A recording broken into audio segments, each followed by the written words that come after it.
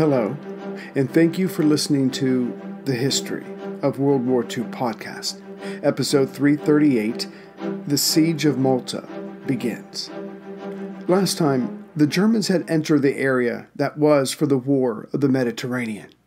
Right away, they, rightly so, targeted Admiral Cunningham's carrier, Illustrious. To remove it and the second carrier, Eagle, would be to deny Admiral Cunningham his most powerful offensive weapon. Thus began the illustrious Blitz. But it wasn't over just yet. January 16, 1941, saw an intense attack against the illustrious, now berthed in French Creek of the Grand Harbor. The Germans and Italians, with the escorted Stuka dive bombers, came in several times that day, yet the buildings and civilians around the carrier suffered more than the ship. As it was still operational, the attackers would return. When the smoke cleared on January 16th, the apartments and businesses around French Creek were leveled, with many dead family goats lying around, as it was customary to have one. Their owners had to be nearby, but were now underneath tons of sandstone in ugly piles all around. As people came out of their shelters to begin looking for survivors, other Maltese stood nearby to sing a dirge. Their collective hope for finding more survivors was fading fast with the dying sun. Two days later, a Saturday, January 18th, the Germans were back. But working out what had went wrong in their attack on the 16th, they pinpointed two issues. First, the buildings around Illustrious were acting as a shield, though less so now, as they had been pulverized. But secondly, the fighters that rose from the island caused the attackers losses they did not have to suffer should those planes be eliminated or never allowed to take off. So the 18th saw the airfields at Luqa and Hal Far get that day's attention. Should the structure services that kept those planes operational and or their runways be unusable, the pilots and their fighters would be grounded, which meant the illustrious could be attacked again, but in a more relaxed, methodical way. It was a solid plan. But as the Germans and Italians bombed Hal Far in the southeast corner of Malta and Luqa, about four miles to the northwest of Hal Far, by now most of the fighters were based at Takali, roughly in the center of the island. Thus, they were able to take off once the invaders were spotted.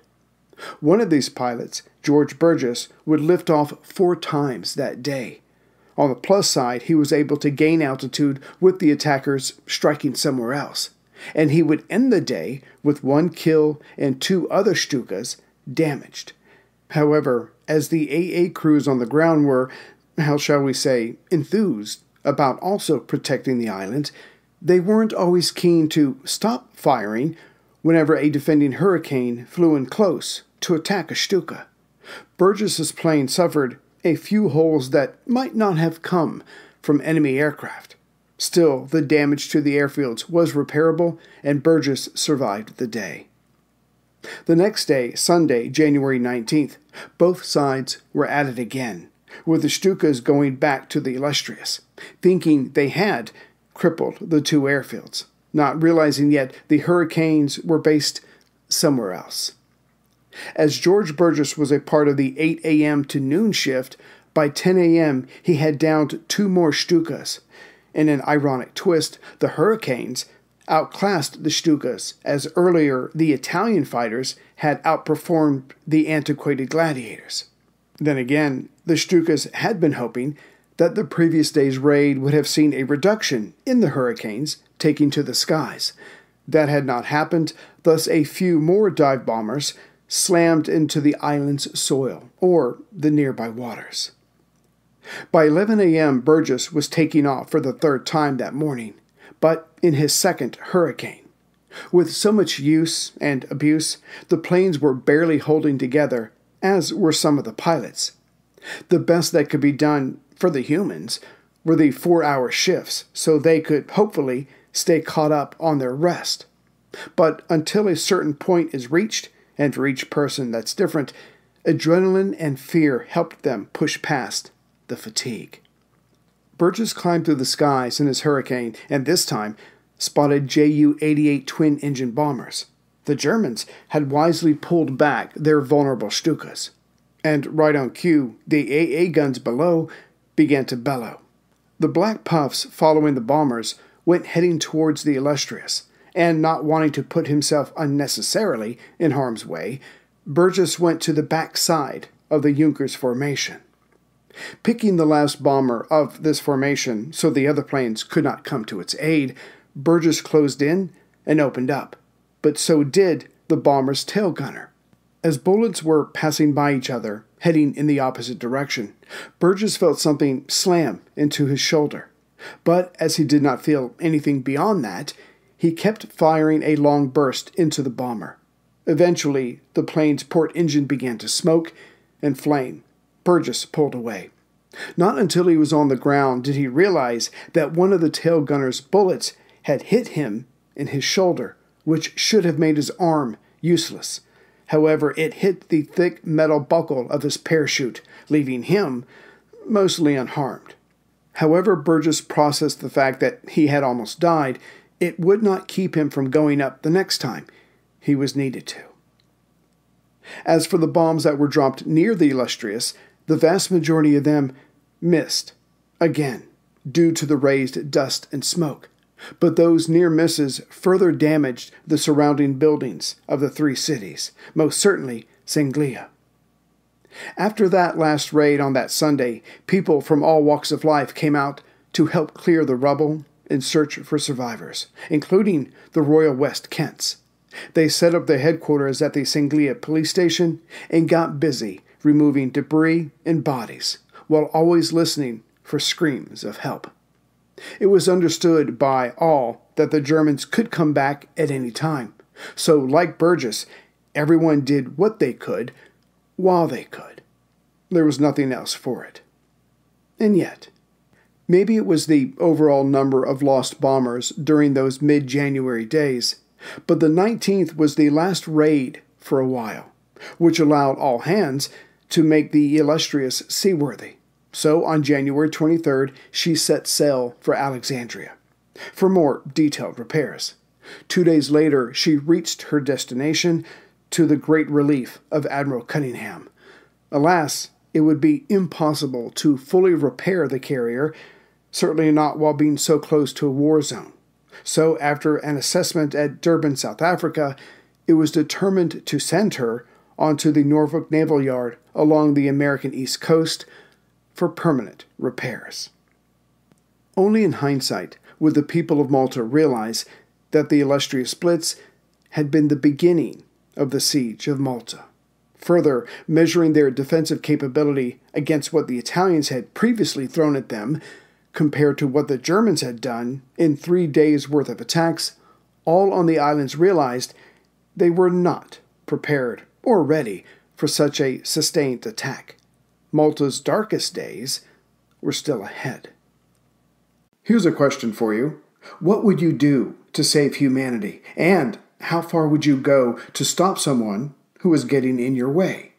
The ancient rivalry of assassins and Templars cuts to the heart of good versus evil, but it wasn't always clear who was good and who was evil. Plug in to explore the amazing world of medieval feuds, echoes of history, Assassins vs. Templars is a special collaboration between History Hit and Ubisoft, the masterminds behind the Assassin's Creed games.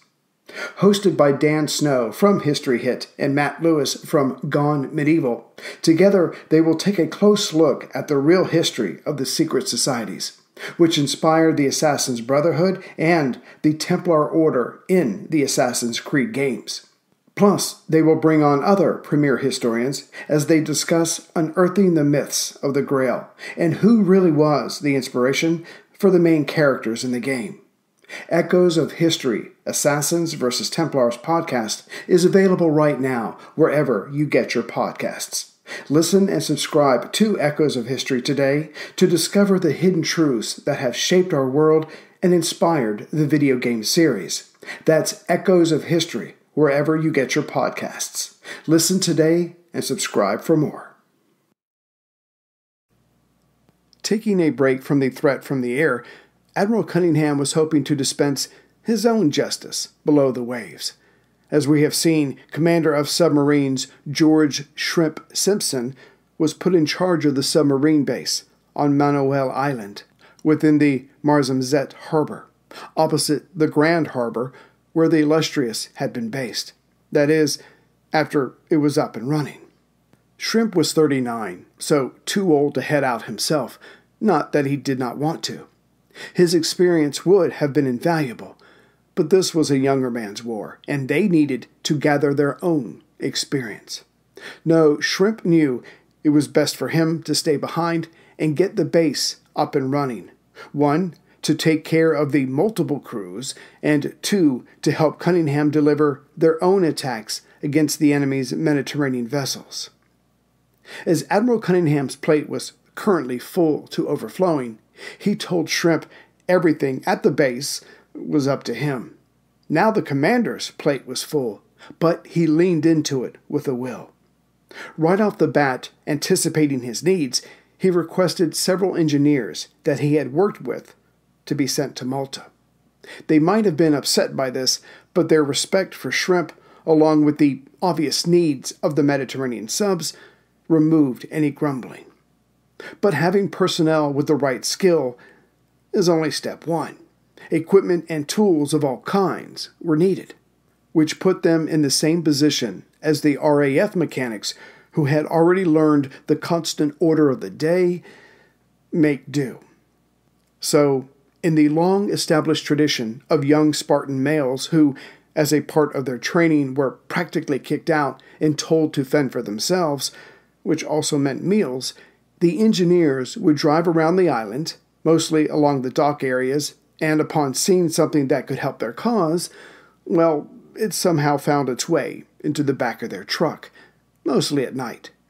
Thus, the repair facilities were coming along quite nicely. With Shrimp looking at the larger picture, Lieutenant Commander Malcolm D. Wanklyn of the Upholder and his second in command, 23 year old Michael Tubby Crawford, focused on their sub to get ready for their first outing.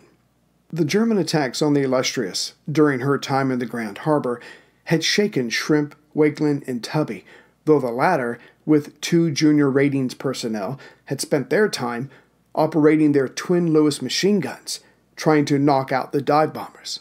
So, just like the Maltese and the British, they were forced to up their collective game in defending Malta and taking the fight to the enemy. Still, Shrimp knew what was coming. His boats would be sent out. Submariners call their subs boats, not ships. Some would return, and some not. And along the way, men would die.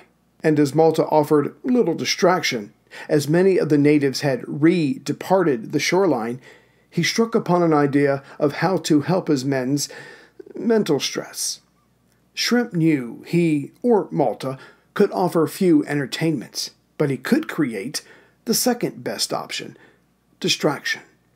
Telling his men to help secure their food needs, he told the crews that their island, Manoel, would retain and care for pigs. Most of these young men had no such experience at this, so its novelty would force them to focus on the swine and not lost friends. Pop Giddings was sent to make the purchase, and thus the submariner's pig farm was established to go along with the beginning of the siege of Malta.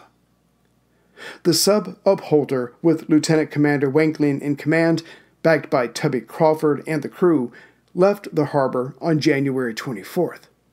True, the upholder had come from London, but its crew was still learning how she behaved, which was vital when stressful moments came. Thus far, that knowledge could be summed up with the sub's trim, or balance, that is, how steady she carried herself, was very sensitive. Not exactly what one wants in a warboat. Next, being a bit smaller than other subs, her power source left a lot to be desired. When on the surface, she could engage her diesel engine and thus charge her battery. Now, this battery could last for 60 hours if she was going very slow, but that time would be greatly reduced if she was doing her max of 8 knots. And considering her lack of speed, the upholder was not going to be running down anything. If she was going to launch an attack, it would have to be because she was already ahead of her target. But that came down to intelligence, and since the Italians had recently changed their codes, there was little enough of that. That is, until the government code and cipher school at Bletchley Park broke the new codes. So it came back down to air reconnaissance, and that came back to controlling the skies over the Mediterranean, which was one reason why the Germans were trying to destroy the illustrious. A nice, complete circle of death or victory.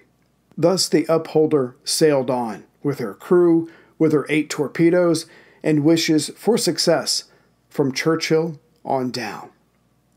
The idea was to disrupt, if not stop outright, the traffic of goods and troops from Italy to North Africa. Currently, the upholder patrolled the area to the northwest of Tripoli. Going back and forth near there gave them a good chance of running across something, and that's what happened at 1:30 a.m. on January 26th.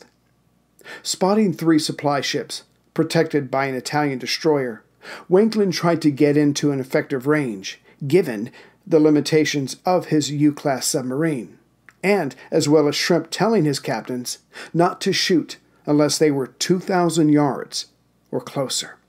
Currently, the upholder was 2,500 yards away. But should Wanklyn waste this opportunity? Wasn't it his discretion as the captain? Would 500 yards really make all that much of a difference? Wanklyn decided it would not. Working hard to keep his 2,500 yards, he ordered two torpedoes fired after a lengthy process of judging distance, speed, and other factors. But Wanklyn had overestimated the convoy's speed, thus, his fish went harmlessly by. The good news was that his attack went unnoticed, leaving him free to try again. Wanklyn ordered a few alterations and fired off two more torpedoes. Now there was nothing to do but wait and see if his gamble paid off. It did not. The silence went on, as did the convoy. By the time two more torpedoes were ready to go, the Italians were gone. Wanklyn had just gained some of that experience that Shrimp needed him to, but at least no one of the crew had died. Two nights later, another Italian merchant ship was come upon. This time, luck was on his side as Wanklyn got into within 900 yards. Firing two of his last four torpedoes, it was back to the waiting game to see if a detonation followed. Sure enough, an explosion was heard, but per the standing orders, the upholder did not wait around to gauge the damage, for surely there would be a response from the enemy. And as the sub was meant to hit and run, it was time for the latter. With only two torpedoes left, Lieutenant Commander Wanklyn must have experienced mixed emotions when he came upon two larger than average merchant ships on January 30th, escorted by at least two destroyers. Had he not wasted his third and fourth torpedoes on his first attack, he might have been able to give all before him holy hell. As it was, he would focus on the merchant ships. But due to various reasons, the speed of the targets, not to mention the destroyers, the upholder could not get closer than 4,000 yards. This was the night of the first attack all over again, but the targets were too tempting.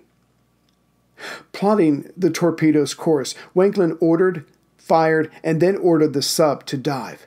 No matter what happened in the next minute or two, those destroyers would soon be all over them, and being out of fish, it was time to go home. Miraculously, as the upholder dove and increased speed, an explosion was heard. Something had been hit. The crew cheered and then got quiet as the ASDIC, or detection device, told them that the destroyers were coming in and dropping depth charges. Staying quiet and keeping their heading straight, the Italians could not pinpoint the sub, as they did not have detection devices for another month or two, given to them by the Germans. Thus, the crew's escape was made and they arrived at Malta on February 1st. All torpedoes had been used, with two hits, and no one injured or worse. It could have been much worse. And in one way, it was worse. The upholder returned to another German air attack, from the air, not the surface of the waves. And when the crew emerged from the upholder and looked around, they saw that the peninsula that held the capital, Valletta, was empty, except for military and rescue personnel. The subcrew was about to find out that the raids were occurring practically every day, that the three cities, again on the east side of the Grand Harbor, were empty, due to, this time, an order from Governor Dobbie.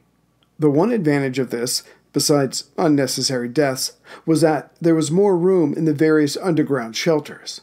Still, they were far from having creature comforts, certainly those not brought by the individuals themselves. But being so deep down, the people there, from the dock workers to the military intelligence staff, were safe from Axis bombs. Clearly, the fight needed to be taken to the enemy to the north.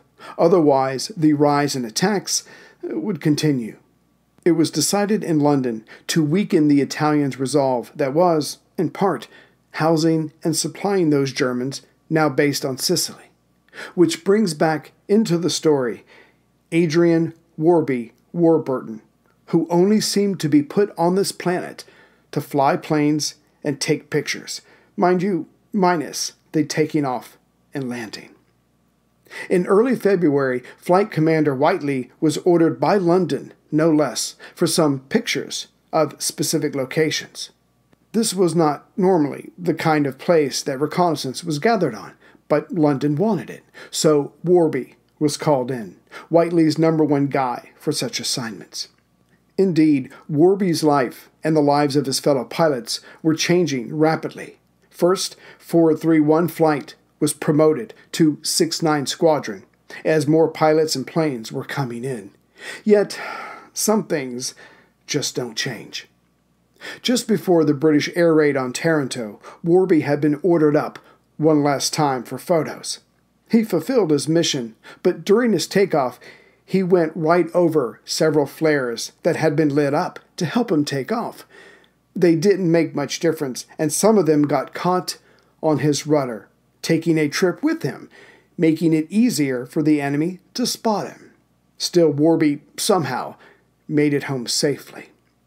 On Christmas Eve, Warby was sent up again, provided the plane survived the takeoff, to head over Sicily to take pictures of a growing presence of Germans. As they were still gearing up, a three engine Italian bomber rose up to take Warby out. Much like his takeoffs, no one could say for sure how he did it, but it was the Italian plane that splashed down, and Warby made it home with his updated photos. Soon after this, Warby was promoted from pilot officer to flying officer, which went nicely with his Distinguished Flying Cross for his pre Taranto work. He also stumbled into a blossoming relationship with a Christina Ratcliffe. She was stranded on Malta when the war broke out, but kept herself busy by starting a dance performance show to entertain the troops. Soon after, she became a plotter for the RAF, but later was promoted from there. Another life that changed at this time was that of George Burgess. It may be remembered that he was only a part time fighter pilot, that his full time job was as aide de camp to Air Commodore Maynard, but he asked permission to be dismissed from that so he could serve full time as a pilot to the newly formed 69 Squadron.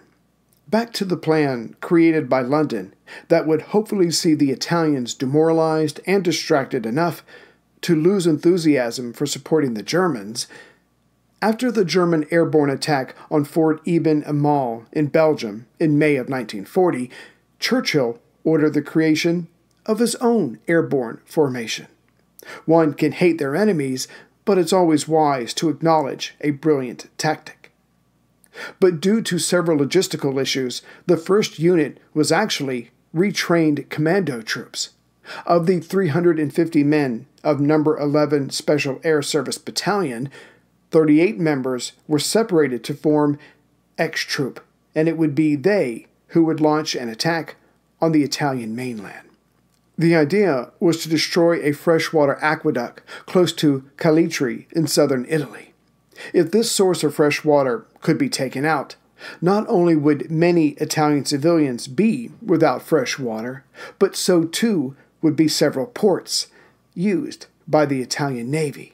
As these ports were servicing war efforts in North Africa and Albania, this one operation, called Operation Colossus, might have far reaching effects. After six weeks of intensive training, as well as bringing on Italian interpreters, X Troop was flown to Malta on February 7th. Warby brought back photos that actually showed two aqueducts, but it was decided to go after the larger of the two. At 6:30 p.m. on February 10th, the six twin-engine Whitley bombers left Malta, having no contact with the enemy during the flight. Not that it mattered, as the operation started falling apart from there. The men from the first five planes successfully parachuted near their target location. However, two of those planes did not send out their equipment due to the icing up of the release mechanisms. Yet the last plane dropped their men and equipment two hours later and two miles away, and this plane was carrying the sappers, those who were to set up the chargers, as well as most of the explosives. This left the men and remaining equipment, once they all assembled, to proceed on as best they could. Then came the next issue. The base of the supporting structure was found to be made of reinforced concrete, not bricks. Thus, what explosives they had would not be enough. Still, it was worth a try. At 30 minutes past midnight on February 11th, the explosives were set off, which caused the aqueduct to break in half, but remaining upright. With the job done, supposedly, the men broke into three groups and set out for the coast, to be picked up by one of Commander Shrimp's submarines. But due to the explosion and the reporting of some locals, all the commandos were captured by morning. The soldiers were sent to a POW camp. The Italian translator was executed for treason. Yet, even if the commandos had made it to the pickup point, their sub, the HMS Triumph, would not have been there. During this raid, two bombers had been sent out from Malta on a diversionary bomb run, but one plane had engine trouble and radioed back to Malta that it was going down, which just happened to be near the pickup point. Shrimp guessed that the Italians had probably heard this radio message and they would send ships and thus find his sub. As he needed every boat he had, he ordered the Triumph to turn around and head back to Malta. The operation was a disaster from start to finish, and the worst part was it was all for nothing. The aqueduct was barely damaged and fixed well before the local reservoirs ran dry. The Italian people did not suffer and then begin to hate the Germans. Well, that would come soon enough, regardless. Either way, the raids over Malta only increased. During January, the air raid sirens had gone off 50 times. By the end of the second week of February, that number had doubled. Life on Malta had come to a standstill. The people below simply tried to survive each raid and then search out and bury those that had not. It wasn't living, but it was better than dying. It wasn't much better for the submariners of Malta, as they defined their current lives by the sinking of ships of their enemies.